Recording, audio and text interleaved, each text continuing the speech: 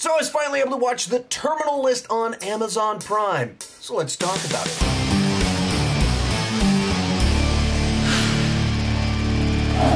Is Sean, and I love to talk about movies and TV way too much. With that in mind, go ahead and join me down below in the comments section. Share your thoughts on the Terminal List. This is a spoiler-free review, so if you want to talk specifics and spoilers, just put up a spoiler warning first in the comment section, and let's get started talking about the good. And the best way to describe the Terminal List is if Tom Clancy, The Punisher, The Fugitive, and First Blood had a child, which is a strange way of putting it because that would be four parents, one of which is a human, one of which is a made up character, and two of that's three fingers, two of which are IPs as the parents for this thing. But that's the best way to describe it. It's those four things mashed together, and if that description makes you go, that doesn't sound very good, you won't like the Terminal List. If you're like me and you hear that and you go, that sounds like the best TV show ever you'll probably enjoy this series. And as someone that enjoys Tom Clancy adaptations, The Punisher,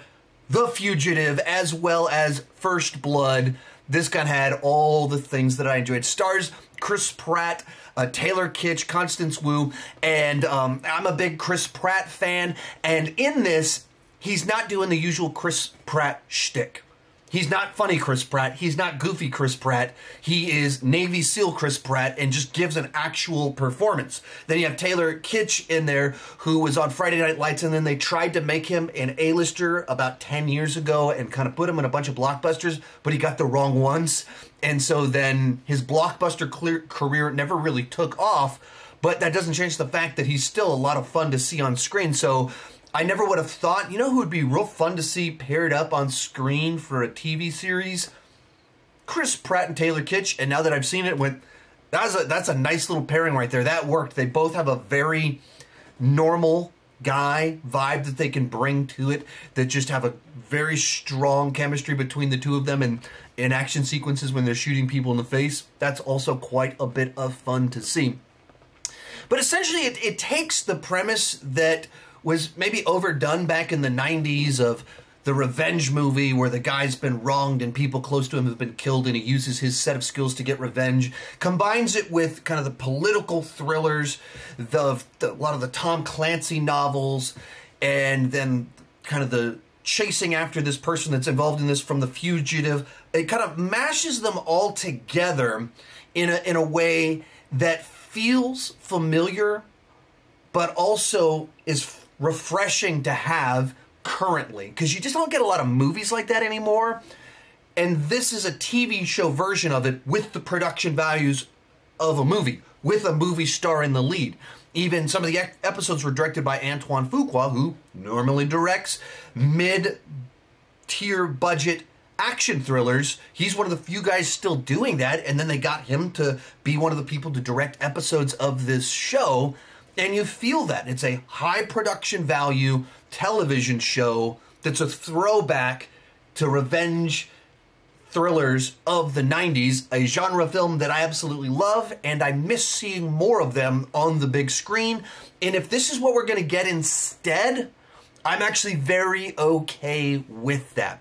Now, it starts off and has a bit of a twist on the genre because it, it, it blends in the lead character having some memory issues. And I don't want to go into too many specifics, but there's some stuff going on with his mental state. And so, as he's trying to recall exactly what happened that led to the inciting incidents of this the show, he has his memory isn't quite right. And so it adds in a little bit more kind of intrigue and something a little bit different to it. And that continues all throughout the series. I think I connected with it a little bit more when that backed down a little bit and it went a bit more straightforward because it was easier to just kind of follow the energy of it when things started going. But it just does a great job of creating this scenario where you really care about this lead character, what happened to him, raises a bunch of questions. You're like, what's going on with him? What went down with that mission? Who did this thing? Can we trust this? What about this reporter? What, how does she tie into all of this? Is is she actually for the good, or is she just out to like exploit things? Where's she coming into this? So it kind of creates this very vast conspiracy. And then if you're someone that likes revenge movies, you get that terminal list. That's the title list of it, and six mm, yeah, six of the eight episodes just are about him crossing names off the list and kind of getting to these different people. And so you get that the satisfaction of the revenge element of the payoff of it in a bunch of these different episodes as you go through it, as you learn more information, as you realize there's more people that need to be added to the list. You just kind of keep getting them. When it man, I put my mind right in front of me I keep punching it.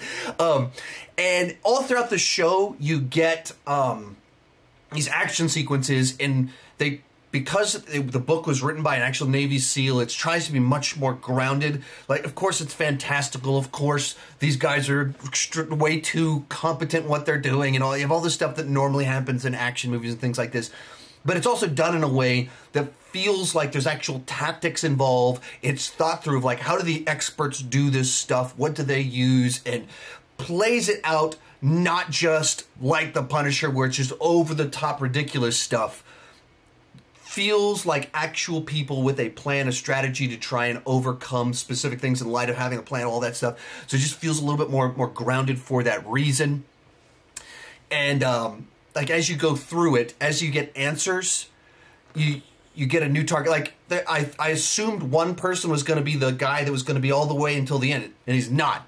And you keep thinking this is where it kind of ends, and it keeps going further and further and further. And I was like, okay, okay, you're actually winning me over. All of this stuff kind of works, and so I am absolutely the target audience for a show like this. It's not doing great on Rotten Tomatoes. It's like a 40% on Rotten Tomatoes. The audience scores like a 95%. And a bunch of the negative reviews are like, this is a total dad show. This is a show that dads watch. This is a show that your uncle will watch. And I'm reading all that like, okay, yeah, I've been a dad for 10 years, been an uncle for 17 years, almost 18 years now yeah, okay, I guess I fit neatly into that category. And yeah, this is right up my alley. And what seemed to be a criticism for them was like, cool, we're getting another one of these, except it's a TV show. And, you know, we'll get into the negatives and some maybe some consequences of it being a TV show versus a movie. But uh, it's eight episodes long. Each episode is an hour long. And I binged it in two nights. And just because we couldn't stop watching, and that was staying up till like two, three in the morning to get it watched because we watched it course, after the kids went to bed. And I am not someone that normally is able to stay up that late because uh, I have kids and they're going to wake me up early in the morning anyway. So, like, it was like, oh man, I just, just got to keep. What we got to finish it, right? We got to finish it tonight. It's that sort of show where you just get invested. You care about where things are happening. You want to know who's a traitor, and you want to see how he's going to get his revenge and how this all plays out. So, um, I got sucked in, binged it in two days, thoroughly enjoyed it. I am the target audience. Uh, I saw the trailer and went, that seems like that's going to be my kind of show. And then once again, if you hear the synopsis that this is like if you took First Blood, The Fugitive, and The Punisher, put them in a blender, mixed them up, and then had Tom Clancy adapt it, and you go, perfect, that sounds amazing. You're going to love this show. If you hear that and you go, another one of those, it's probably not going to win you over. It, it knows its audience. It knows the type of people that watch this sort of thing, and it delivers the movie that they want. And that's also why, like, I imagine there's a pretty big gap between critics and audience on this one. Of like, it's it's designed for a very specific audience, people like me, and I'm eating it up. And then people that that's just they're tired of this thing. Well, that's a product of the '90s. They're not going for it all there's some issues here, so let's move on to the bad. And the big thing here is that that it is familiar. It does feel like the type of book that was traditionally adapted into a two, two and a half hour long movie that's just been adapted into a eight hour runtime. And in which case some of it feels familiar. Hence why there's very clear inspirations from other things uh, I would guess that the, the author's not terribly far off in age from me. He grew up watching the same movies I grew up watching, and then he went off and actually became one of the heroes of the movies that he loved, the stories that he loved, and then adapted it. And so it, it he, ha- he can pull in real life experience that gives a uh, verisimilitude to it. It can ground it in reality while telling a story that's very much the sort of thing that I would write, the sort of thing I would be excited. Sort of, I don't know that I could write something this complex, but it's the sort of thing that I would mash together and want to tell a story out of because I grew up watching these same sorts of stories, reading these same sorts of books. That's kind of what this felt like, but also meant that there's certain things about it that feel familiar, and you start trying to guess who's going to be a traitor, and you're you're probably going to be pretty close of what some of the final reveals will be. It's not You don't get to the end and go, "Well, that was so clever." You go, "Okay, yeah, that that makes sense. I could. That's that's how these things normally work. These are the sorts of twists and turns you can expect in these stories, and there you are. You can expect the the sorts of character arcs that." The, the lead character isn't really the one that grows and changes all that much. He has traumatic events happen in the first episode, then he's on the the revenge mission for the rest of it. So it's more the kind of the side characters that grow, change, have a their perspective on the world and power systems and things like they're the ones that more shift those supporting characters more so than our lead character. And you can you can kind of guess pretty early on what that's going to look like. You can guess which people probably are going to be on the bad side. So it's familiar a little bit predictable and then kind of tied into this too is that you go you know did it need to be eight hours long we binged it in two days. I wasn't feeling like, man, this this is the filler episode. But there's also a sense in which when you have you know, six episodes out of eight are him crossing someone off the list, you could also see where, okay, wait, you could have just taken a couple of these episodes out. You could have. Um, I didn't necessarily mind it. This is a very minor sort of thought of like, but some people be like, okay, another episode we're crossing someone off the list, and then to reveal that the hole goes deeper and there's someone else, and who, here's who we need to get next. You can feel that a little bit of like you think you're building towards this thing and then to, we're still going we're still going we're still going.